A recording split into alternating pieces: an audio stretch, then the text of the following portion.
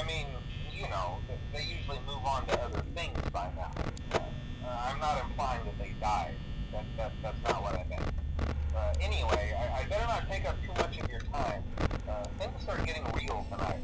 Uh, uh, hey, listen, I, I had an idea.